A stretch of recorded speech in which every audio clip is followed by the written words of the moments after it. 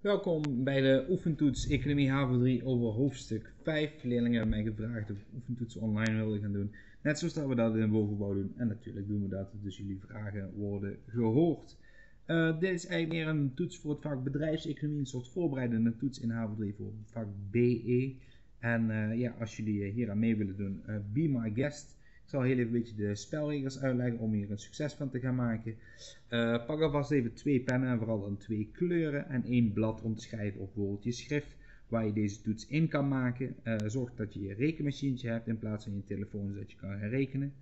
Uh, ik stel eigenlijk een vraag, we gaan dat samen lezen. Na die vraag zet ik de, laat ik de video 5 seconden doorlopen.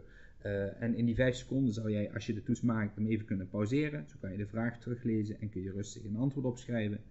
En dan als je klaar bent, klik je dus weer op play en binnen 5 seconden leg ik je dan het antwoord uit. Nou, met het antwoord kun je dat natuurlijk zelf corrigeren. Wees daarbij wel kritisch. Denk niet, oh dit is ook een beetje goed en een beetje goed telt ook. Nee, dat zou ik niet zeggen. Uh, kijk na zoals dat wij nakijken. Iets wat goed is, is goed. Iets wat fout is, is fout. En soms zijn er natuurlijk wel meerdere antwoorden mogelijk. Als je echt twijfelt, dan mag je wat mij betreft best een vraag stellen in de reacties. Zal ik vertellen of dat goed of dat, dat niet goed is. Maar misschien kun je ook wel naar je eigen docent toe om dat even te vragen. In ieder geval, je mag je altijd op deze video's reageren en ik probeer zo snel mogelijk dan ook te antwoorden. Dus, ik hoop dat je klaar zit, want we gaan beginnen met de opgave. BTLL is een bedrijf gevestigd in Weert, Limburg. Het bedrijf bestaat sinds 2000 en levert zwembaden voor luxe woningen. Per week leggen ze één compleet zwembad aan. Ze werken iedere week van het jaar door. De gemiddelde prijs van een zwembad is 2000 euro per stuk, exclusief BTW. Natuurlijk heeft het bedrijf de financiën goed op orde. Dat valt ook in terug te zien in de balans van het bedrijf op 1 januari 2021. Bekijk deze hieronder. Dat mogen jullie daar zelf natuurlijk doen.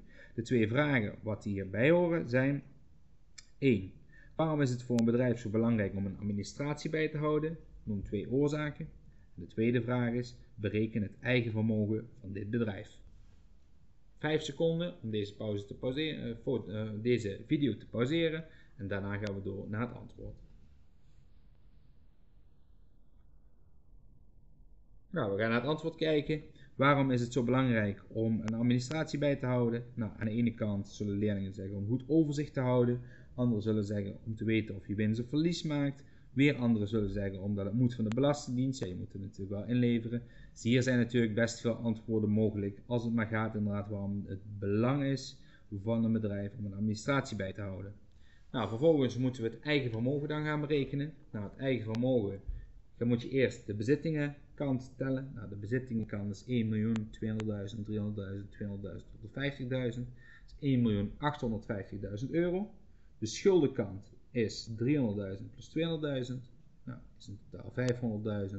Bezit min schuld is eigen vermogen. Bezit 1.850.000, schuld 500.000 is het eigen vermogen 1.350.000. Door die 1.350.000 hier toe te voegen, is die ook dus weer in balans. Nou, corrigeer dat als je nodig hebt. Je mag de video weer pauzeren als je dat wil. En anders gaan we door naar de volgende vraag. Bovenstuk is helemaal hetzelfde. Alleen nu gaan we mutatiebalansen invullen. Dus je moet nu drie mutatiebalansen invullen. Ik heb hier even kort even een voorbeeld gemaakt van hoe een mutatiebalans er ook weer uitzag. Maar dat zou je als het goed is moeten weten. Ook dat heeft gewoon een debit en een creditkant. Je vult alleen maar in zeg maar, waar er sprake van is. Nou, de eerste mutatiebalans, opgave 3, is op 2 januari blijkt dat het gebouw 10% minder waard is geworden. Op 3 januari verkoop je 50% van je voorraad. Het geld ontvang je een dag later op 4 januari door een contante betaling. En opgave 5 is op 4 januari betaal je de andere lening, sorry, de lening van je vader terug. Je maakt het geld over.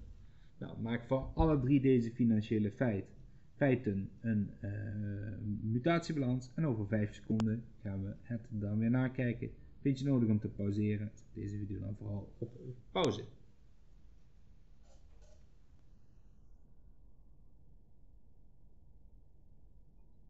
Nou, laten we stap voor stap even gaan kijken hoe dat zit.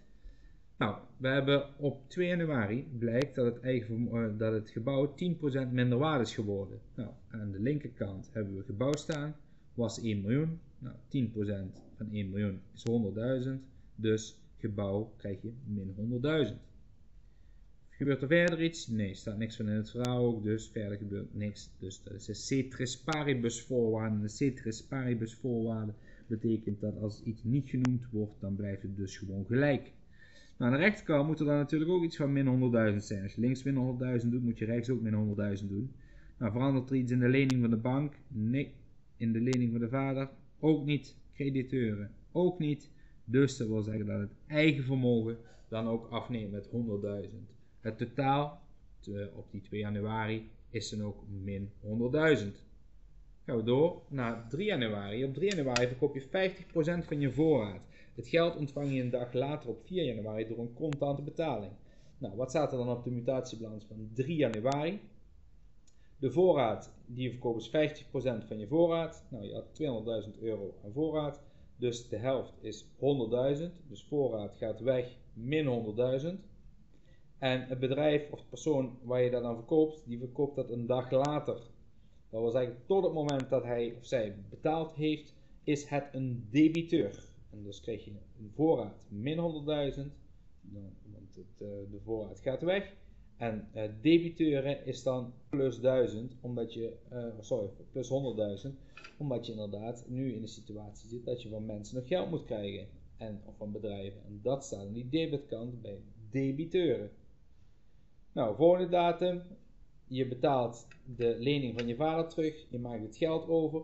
Maar eerst moeten we natuurlijk hierboven kijken. Op 3 januari verkoop je 50% van je voorraad. Nou, de voorraad is 200.000. Dus als je dan zeg maar eh, de, de voorraad verkoopt, dan uh, wil dat dus gewoon zeggen dat je dus daar ook naartoe moet kijken. Nou, wat gebeurt er dan? Het geld ontvang je een dag later op 4 januari door een contante betaling. Nou, wat gebeurt er dus op 4 januari? Komt er 100.000 euro in de kas bij. Dat lijkt me logisch. En de debiteuren gaan weg. Want je krijgt het geld niet meer van die mensen. Die hebben dat op dat moment betaald. Dus geld in kas plus 100.000, debiteur min 100.000. Op 4 januari betaal je de lening van je vader terug. Je maakt het geld over. Nou, aan de rechterkant is dan lening vader 200.000 naar niks. Die heb je alles terugbetaald dan als het goed is. Maar aan de linkerkant betekent dat dus zeg maar ook dat ik geld op de rekening, en dat was inderdaad 200.000, dat dat natuurlijk 0 gaat worden. Want 200.000 min 200.000 is natuurlijk 0. Ja, dus dat wil zeggen dat, uh, dat je zo inderdaad ziet dat er op 4 januari in de kas best veel gebeurt, maar dat de totalen nog altijd aan elkaar gelijk zijn. We gaan verder met uh, de volgende opgave. Dat is deze opgave 6. Nou, we hebben nu een paar mutatiebalansen natuurlijk gedaan. En we hebben een beginbalans, die staat bovenaan en de mutatiebalans staat in het midden. En nu is natuurlijk aan jullie de vraag, vul dan ook de eindbalans in, zoals dat die dus gegeven is. Nou, de eindbalans staat op 10 januari, omdat er op 4, 5 en 6 januari zijn er dingen gebeurd. We gaan ervan uit dat er op de rest van de maand niks meer gebeurd is tot, 10 januari, tot, tot en met 10 januari. Dus dat wil eigenlijk gewoon zeggen dat je nu aan de hand van de gegevens in het midden de eindbalans kan in gaan vullen. 5 seconden om deze video te pauzeren en daarna geven we het antwoord.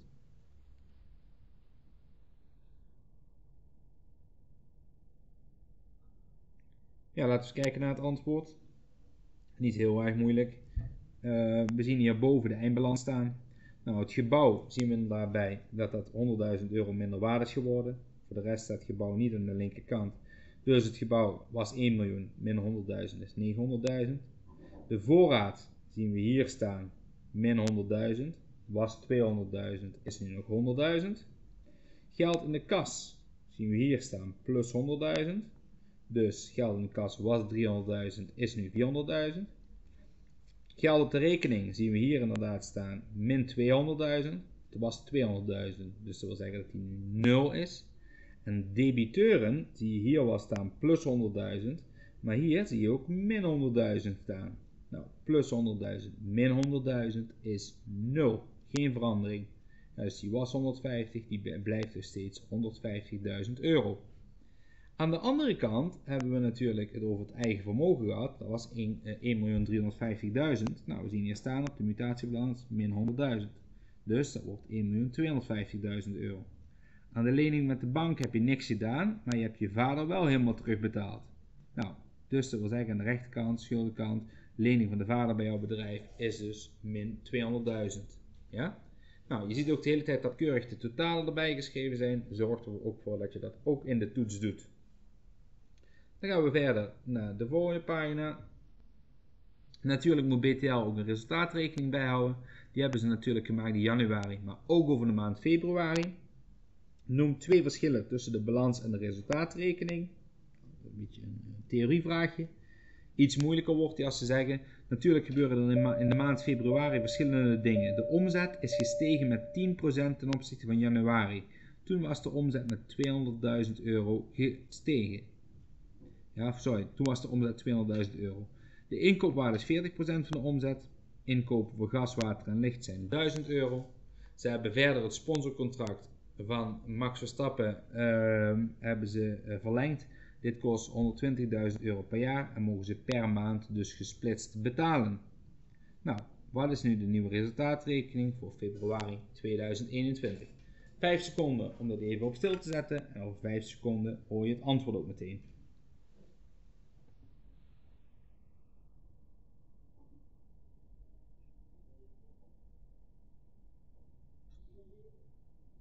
Nou, we gaan kijken. Eerst vraag 7. Verschil tussen balans en resultaatrekening. Nou, de balans is een momentopname. Balans staat geen winst, of sorry, sorry staat eigen vermogen, staat geen winst of verlies op. Nou, kun je verschillende eh, verschillen natuurlijk bedenken over wat er wel op een balans staat en niet op een, uh, uh, en niet op een resultaatrekening bijvoorbeeld. Nou, je hoeft het maar dan neer te zetten. Dus hier zijn zoveel dingen op ant antwoorden mogelijk dat ik daar niet te diep, te diep op inga. Ik ga wel kijken naar de eindbalans. Want wat kunnen we zien inderdaad? Dat de, uh, de omzet is gestegen met 10%. Toen was de omzet 200.000. 10% van 200.000 is 20.000. Dus de omzet is dan 220.000 euro. De inkoopwaarde is 40% van de omzet. Dus 40% van die 220.000.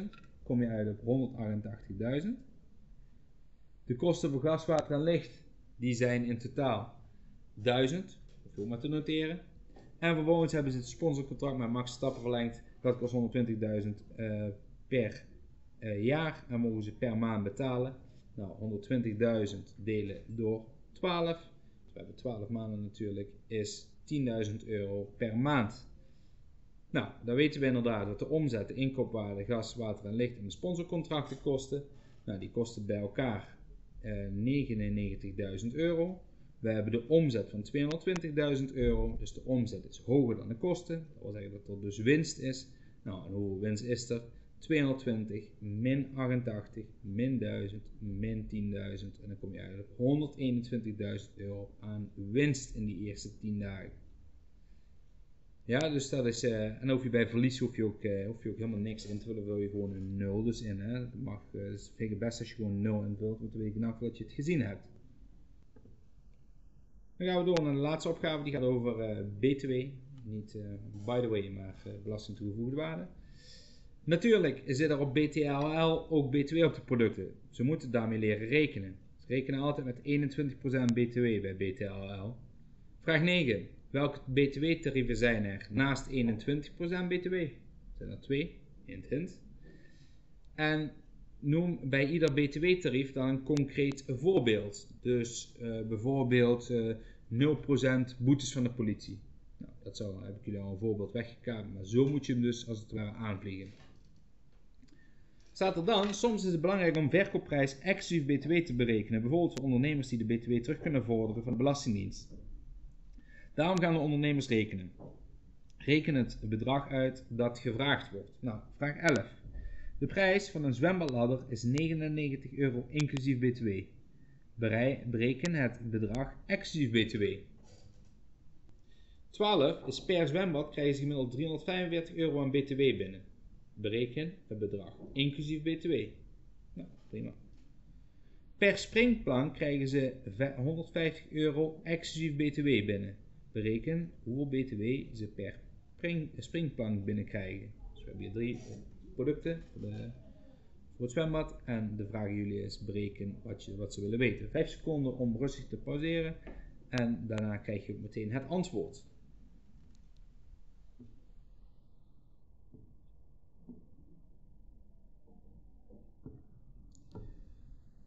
Ja, laten we eens gaan kijken. Ehm, welke BTW-tarieven zijn er naast 21% BTW? Nou, 0% en 9%. 0% is het nultarief, 9% is het lage tarief, 21% is het hoge tarief. Nou, noem bij ieder BTW-tarief een concreet voorbeeld. Nou, 0% bijvoorbeeld medicijnen zoals aspirine. 9% levensmiddelen zoals brood.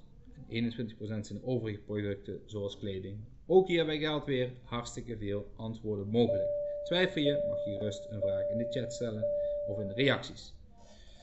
Nou, dan hadden we dan inderdaad dat verhaaltje over eh, dat we terug moesten rekenen of vooruit moesten rekenen. Nou, eigenlijk is het heel simpel. Je kan het gewoon met een verhoudingstabelletje doen. En dat verhoudingstabelletje is eigenlijk gewoon, je begint met het getal wat je weet en dan ga je terugrekenen naar 1 en dan ga je door naar, uh, naar het getal als, als het ware dat je nog niet weet. Nou, in het eerste voorbeeld, een de prijs van een zwembadladder is 99 euro inclusief btw. Nou, zij werken met 21% btw, dus dat wil zeggen dat dat 121% is. Nou, 121 is gelijk aan 99 euro. Ik zet mijn rekenmachientje alvast hier beneden klaar, want ik ga jullie ook laten zien wat ik doe. Um, nou, 121 euro, uh, procent is gelijk aan 99 euro. Nou, dan gaan we eerst terug naar 1%. Nou, hoe gaan we van 121 naar 1? Dan doen we delen door 121. Dus die 99 euro, die doen we ook delen door 121. Nou, kom je op 0,818. Dus dan krijg je dit 0,8181.